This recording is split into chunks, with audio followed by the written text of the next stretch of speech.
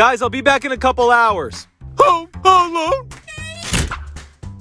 Oh, I forgot my wallet.